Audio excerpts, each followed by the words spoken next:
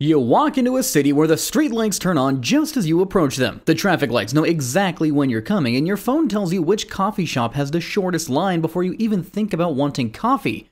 Sounds pretty cool, right? But then you realize that same city knows where you are every second of the day, what you buy, who you talk to, and maybe even what you're thinking about buying tomorrow. Welcome to the world of smart cities, where technology promises to make everything better, but might also be watching your every move. Today, I'll explain smart cities to you like you're 5 years old, and by the end of this, you'll understand whether these super connected places are the coolest thing ever or something that might make you want to hide under a blanket. Imagine your city is like a giant robot that can see, hear, and think. But instead of having big metal arms and legs, this robot is made up of thousands and thousands of tiny electronic helpers scattered everywhere. These helpers are called sensors, and they're like the robot's eyes and ears.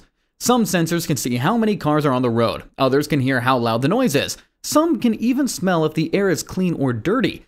All of these tiny helpers are constantly watching and listening and smelling, then telling the city's big computer brain what's happening everywhere all the time.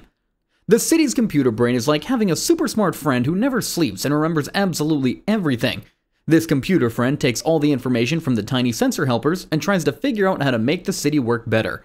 If the sensors say that there's too much traffic on one street, the computer brain might change the traffic lights to help cars flow better. If the sensors notice that a lot of people are walking in the park, the computer brain might turn on more street lights to keep everyone safe. It's kind of like having a really, really good babysitter for an entire city. But here's where it gets tricky. To be smart, the city needs to know a lot about you. And I mean a lot.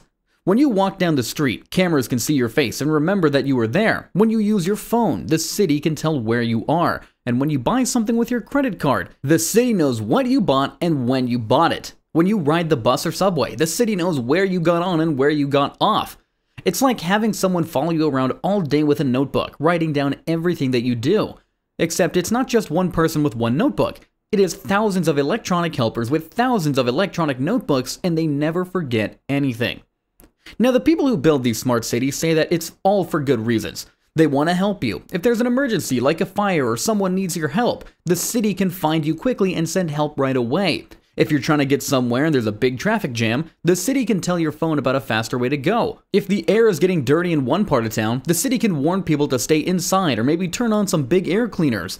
If there's not enough electricity in one neighborhood, the city can borrow some from another neighborhood that has extra.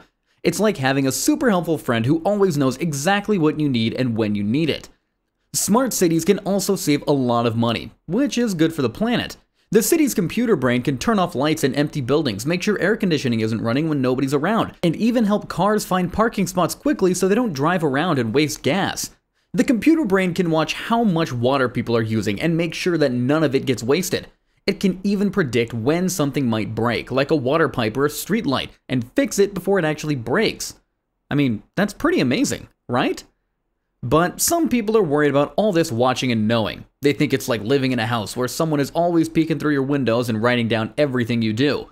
Even if that person says they're just trying to help you, it might make you feel uncomfortable. You might not want anyone to know that you went to the ice cream shop three times this week, or that you like to sit in the park and read books, or that you visit your grandmother every Tuesday.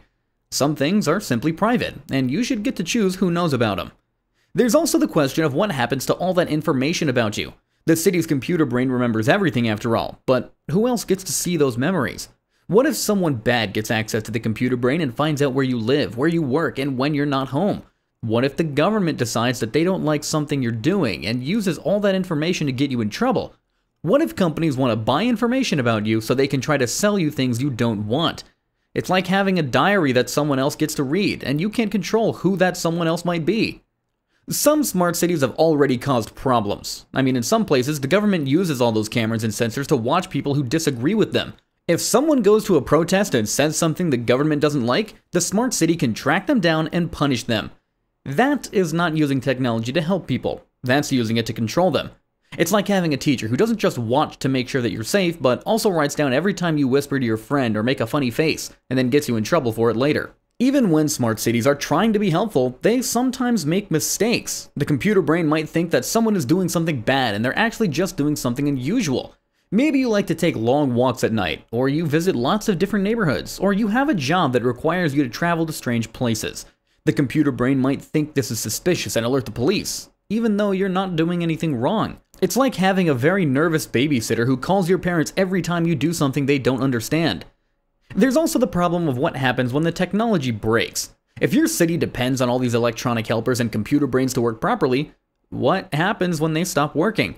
What if there's a power outage or someone hacks into the system, or the computer brain just gets confused? Suddenly, traffic lights might not work, emergency services might not know where to go, and nobody might know how to fix anything because they've gotten so used to letting the computer brain handle everything. It's like if your really helpful friend suddenly just disappeared and you realized that you'd forgotten how to do things yourself. The people who live in smart cities also don't always get to choose how much the city watches them. If you live there, you have to accept that the city's electronic helpers are going to see and hear and remember everything you do. You can't really opt out or ask for privacy without moving somewhere else entirely. It's like being forced to live in a house with windows that you can't put curtains on, where everyone can see inside all the time. But it's not all scary. Many smart cities are trying to find ways to be helpful without being creepy. They're working on systems that can improve traffic and save energy without storing information about individual people. They're making rules about who can access the information and how it can be used. They're asking the people who live in the cities what they want and what makes them comfortable. Some cities are even letting people vote on which smart technologies they want and which ones they don't want.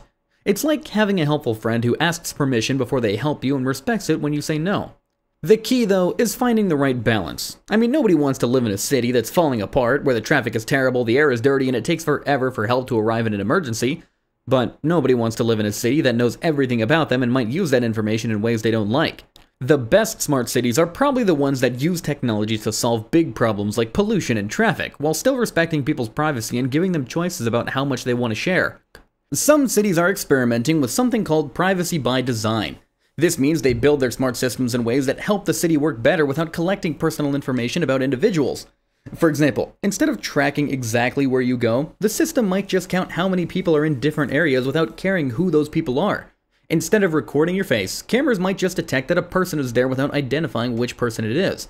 It's like having a helpful friend who can see that someone needs help without needing to know exactly who that someone is. Other cities are being very transparent about what information they collect and how they use it. They publish reports showing what their sensors are watching, what their computer brains are learning, and what they do with all that information.